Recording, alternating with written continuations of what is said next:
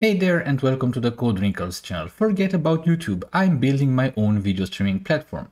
No, actually just kidding, but in this video I want to show you how you can stream videos directly from your Azure Blob storage into your Blazor server application. Here I have the very regular Blazor template and I will just update the template with the things that we need in order to stream videos.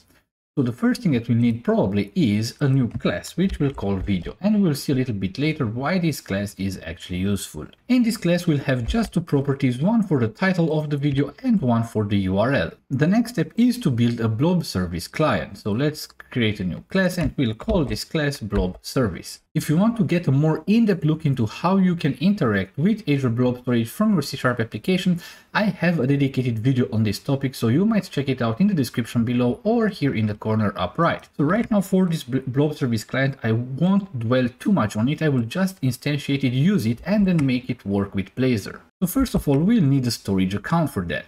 For the purpose of this tutorial, I will be following the simplest route to actually connect to this blob storage that I have in Azure and I will use directly the key. And I will do this because by the time I will publish this video, this blob storage will be already deleted. One other thing that we'll need is a blob container client. Obviously, I don't have this package installed right now, so let's install that. So let's open the NuGet package manager and here we'll search for this package called Azure Storage Blobs and we will just install that. Now we have access to this blob container client that we will use just in a few seconds. Next, we'll need a constructor for this because we want to initialize everything that we need and that would look something like this. So first of all, we need this credential and we create this storage shared key credential based on the storage account and the key. We then just can define the blob URL and then we can use these two information to create a new blob service client and we can then just use the blob service client to actually get the blob container client, which is called videos, which is essentially a folder or a container that I called videos in Microsoft Azure.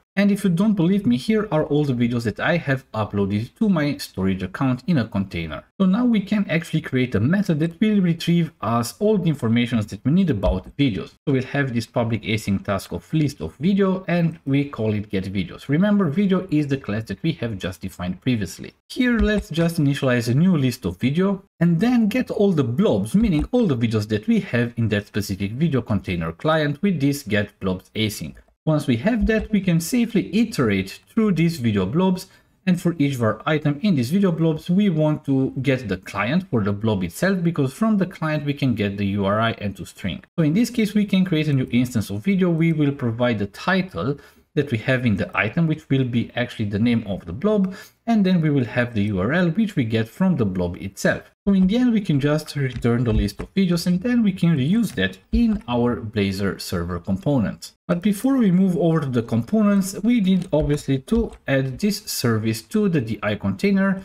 So we'll have builder services, add scopes, and this is the blob service that we have just created. Now there are two things that I want to achieve. First of all, in this fetch data component, we want to change it a lot. So first, we will change the title for this page because I want it to be called Codewrinkles Videos and also what we display here. Let's remove this tag because we don't need it. And now we need to do a little bit of stuff here in this code behind. First of all, we don't want to have weather forecasts anymore. So instead of having weather forecasts, we will have list of videos. Then what we want to do is to replace this with actually our service that gets the data. So what we need to do here is remove this inject with the weather forecast service because we don't need this anymore and instead of this we will just inject our blob service that we have added to the DI container. And I guess this is also using that we will not be using anymore. So now we can come back here to this method and instead of this forecast we have videos await blob service and get videos and we will get all of the videos.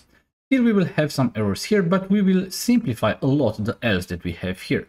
First of all, we need to change these two videos like that. And then in the else, what we'll have is just a simple unordered list that will contain the titles of all our videos. Now the idea that we want to implement here is that inside this UL we will have a list item and inside this list item we have an A tag. And the href is actually or will redirect us to our component that we will implement just in a few minutes where we can actually watch the video. So in order to identify exactly what video do we want to watch, because we don't want to create a page for each video that we want to watch, we use this video URL as a query param. And here we just pass the URL that we get from the blob storage, which is the URL to the exact blob location. And in the tag itself, we will display the title of the video. So let's create now our watch component. So let's add here a Razor component and we'll call it simply watch. In this one, I don't want to have any title. Instead, I need to use a page directive. So this will be actually the URL to which the fetch data component will actually redirect once we click on a link. And in the code behind, we'll just need a parameter that will get the query string from the redirection. So this is how we do it. First of all, we decorate this with the parameter attribute, so because this is a parameter, and then supply a uh, parameter from query, and we have to specify in a name, the name of the query param. In my case, it was the video URL. And once we have everything in place, the only thing that we need to do is to simply just use this HTML5 video tag in which we can specify a width and a height and I made sure that this is still the correct aspect ratio for these videos and inside this video we can specify a source and the source will actually be this video which is the URL to the blob container or to the blob that contains that specific video. And that's mostly it, we are done, let's run the application. And here's the application that we have, so first of all let's go on this fetch data and we see that in this fetch data, we see indeed all the videos that I have uploaded to the blob container. And to demonstrate you that these videos are actually streamed by default by Azure Blob Storage and not just downloaded, let me here also open a developer tools and let's clear everything that we have here. So let me click off one of the links, it doesn't really matter on which one. And if you take a look here, you see that we have just downloaded 4.9 megabytes. And in fact, if we get this video started and if we go back here, we see that the size continuously increases. So this video is actually streamed and it is downloaded piece by piece while it is actually playing. So it's streaming, it's not downloading directly, which is actually very, very nice for creating such video streaming or for streaming videos in your Blazor server applications. As you can see, that's really very easy. You don't need any fancy components, you don't need anything else.